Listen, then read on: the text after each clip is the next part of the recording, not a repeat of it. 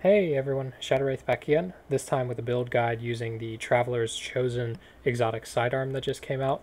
I'll be showing it first on a Hunter, but I'll also give examples for Warlock and Titan, since this build works with both. And then I do not have any exotic armor on for this build, but I'll give you some examples or options if you have the exotics that you can run, and it'll make the build even more powerful. So we're going to have, obviously, Traveler's Chosen, and then we'll be running the Surprise Attack mod for a 100% damage boost, so we'll be doing double damage, and then you can see the exotic perk there. You can consume stacks of Gathering Light to instantly regenerate your abilities. In addition to that, we have Blinding Grenades as our special weapon, and then we have Falling Guillotine for our heavy weapon for quick boss DPS. And then we're also running Oppressive Darkness Grenades for the 30% damage debuff. So you can see how quickly you can take out a Lost Sector boss here. As far as where I would use this, I think this is good up through Legend, maybe Master Content. I would recommend using something else for Master Content. But for standard stuff, Strikes, um, lower level Nightfalls, etc., this build should work pretty well. Alright, so if that looks interesting, we'll go ahead and jump into subclasses. So we're going to be running Night Stalker, Bottom Tree Way of the Pathfinder, Vanish in Smoke, Throw Smoke Bomb to become invisible, Lockdown, Grenade effects last twice as long. This is great for Oppressive Darkness. Combat Provision, Grenades grant melee ability energy and making allies invisible grants grenade energy. And then Mobius Quiver, Vortex Grenades, and Gambler's Dodge so that we can get our Smoke Bomb back when dodging next to enemies and triple jump, but you can use whichever jump. If you're on a Titan, I'd recommend running Middle Tree Sentinel, Code of the Commander, for the Void Detonators. Gives you ability regen and health, super helpful. Or you can run Top Tree, Code of the Protector for the Bubble Titan and healing on melee kills. And then I'd run Void Wall Grenades, Towering Barricade, and Strafe Lift. For Warlock, of course, I would recommend running Attunement of Hunger, Devour, where you can consume your grenade or get a powered melee kill to proc Devour, which then gives you grenade, melee, and health on every single kill that you get. And again, vortex grenades, healing rift, and whichever jump you like. As for weapons, we're running Traveler's Chosen. The intrinsic trait is Gathering Light. Final blows with this weapon grant stacks of Gathering Light. Hold R to consume the stacks, granting melee, grenade, and class ability energy based on the number of stacks. It's about 10% per stack. Then the other trait is Gift of the Traveler. Each stack of Gathering Light improves this weapon's reload handling, and target acquisition. So it's a really good sidearm, a lot of fun to use. Then for our special weapon, we have Truthteller with blinding grenades for ad control, auto-loading holster so we can swap away and it'll reload, and then Demolitionist for the extra grenade energy.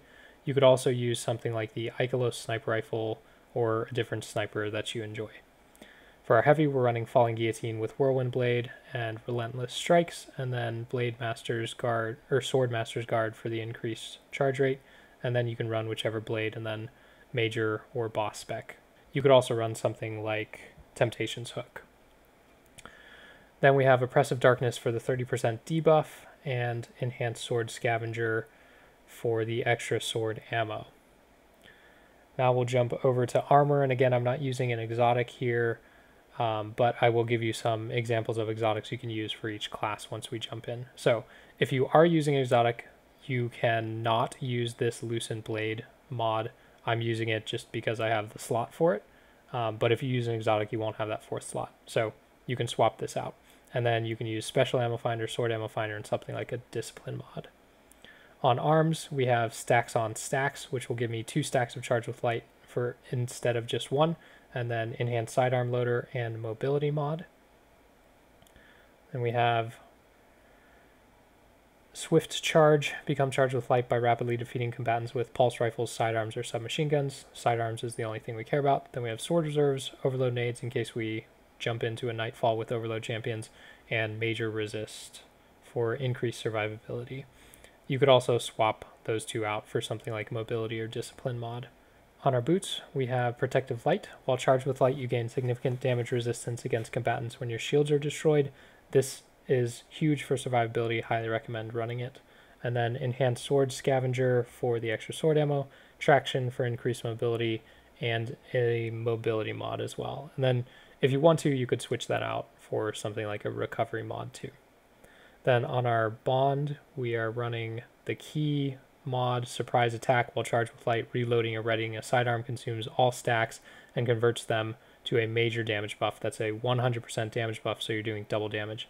Then we have Oppressive Darkness grenades for the 30% debuff and another mobility mod. I'll give you a couple examples of exotics that you could run if you have them, but they're not required. So we're going to start with Hunter on Wormhusk Crown for the bump to shield and health when you dodge, or Graviton Forfeit for increased invisibility timer, Sixth Coyote for a second dodge charge, or Orpheus Rigs for a better super. Then on Titan, Heart of Inmost Light for ability regen, Doomfang Pauldrons for a better super, or Helm of Saint 14 for a blinding bubble. And then on Warlock, Verity's Brow for increased grenade damage and regen, or Nezarec's Sin for increased ability regen on void kills.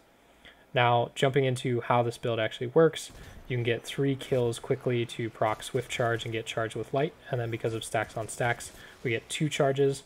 When we reload, we get 10 charged magazine shots, which will give us double damage for each shot.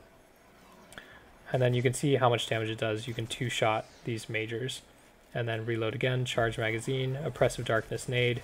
You can take down an ultra in seven shots. And here we recharge again, throw smoke bomb, reload to get our smoke bomb and our grenade, and then you can see how much damage it does to this ogre boss.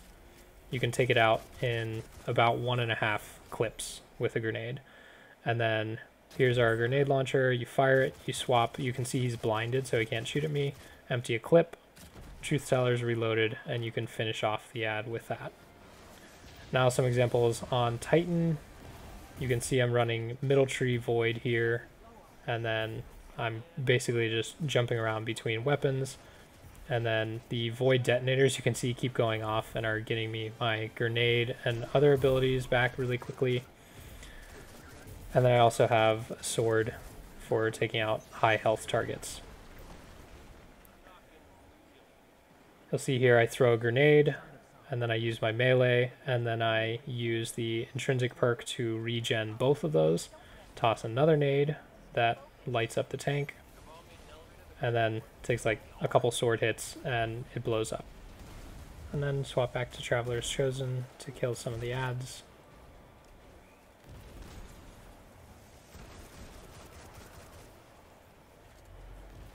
And kill the tank up top again, toss a nade on him, kill it with a sword.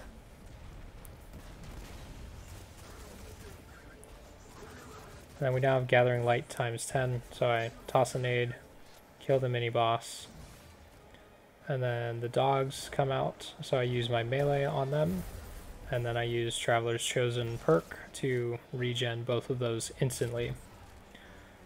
Then here's Rakazan in the hangar, and you can actually damage him fast enough to kill him before he makes it up to the airfield. I've shown this in a couple other videos too.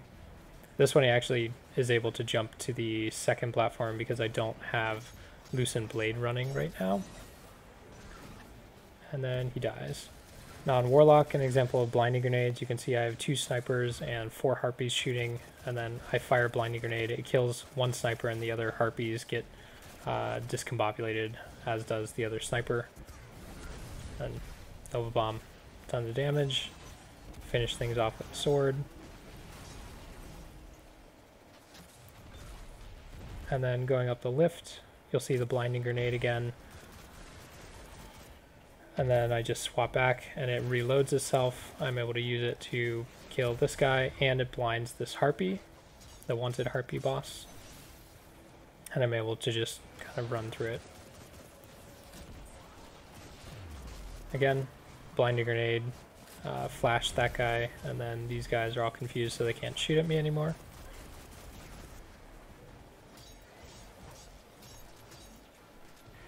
and you just finished killing everything before taking out the boss.